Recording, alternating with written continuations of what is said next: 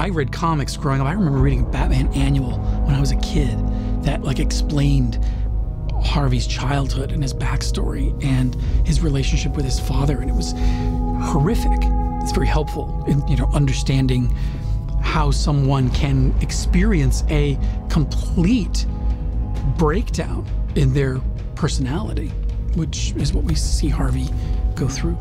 It's hard to believe the man who stood on this roof and made that promise, that bond with each of us, would cross the line. Can you honestly say that man and the one we met in the alley were the same? There are deep scars there.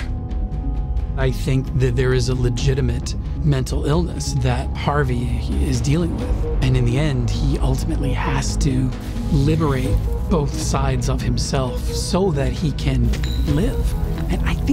The marred side of him wasn't so horrible, wasn't so much of the living id who will just do anything and say anything, it may be the healthiest thing that he could do. Unfortunately, you know, people will die. I just want to have a normal night. Can we just have a normal night? I don't even know what that is anymore.